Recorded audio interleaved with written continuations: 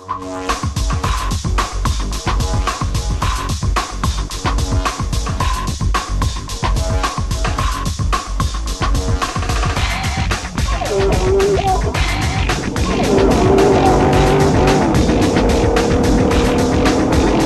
left the sand dunes and we got onto the hard pack.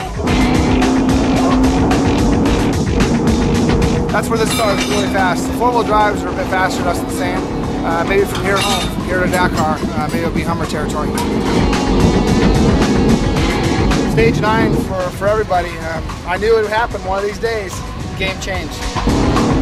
Two factory Volkswagens, big problem. So that's two Volkswagens out, probably move us about up to eighth. This is a long race. Uh, it's far from over, and it's far from over for, for us as well. Uh, we got to survive these next few stages as well.